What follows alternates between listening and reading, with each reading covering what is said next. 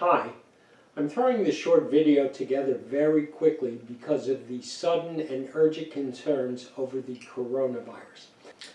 While the obvious priority has to be the medical one, I'm focusing here only on the economic aspects.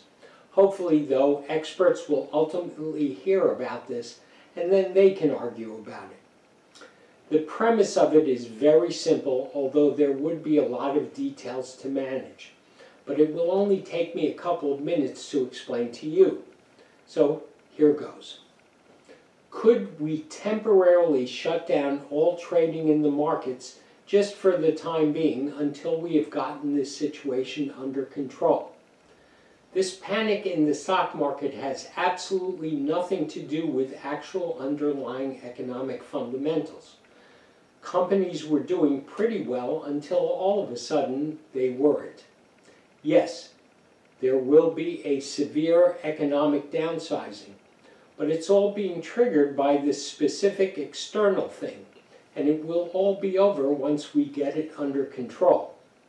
But until then, the markets will overreact, which does nothing helpful and actually makes things much worse than they need to be. The plummeting stock market reduces the value of assets, which then forces people to sell and downsize, creating a kind of ripple effect.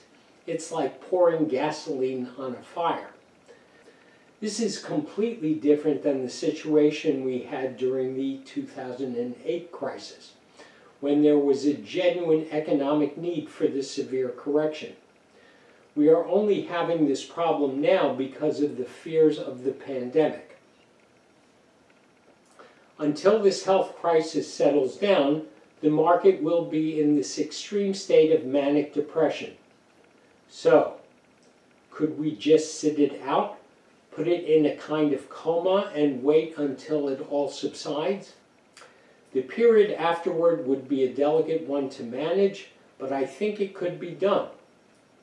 So, here's the question. Is this idea completely impractical or crazy? Well, here's something to think about. We shut the market down every weekend. So, at least that part isn't impossible.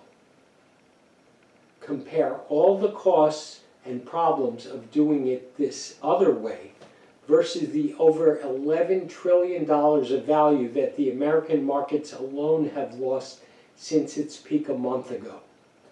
And the collateral damages from this will cost many trillions of dollars more in the end.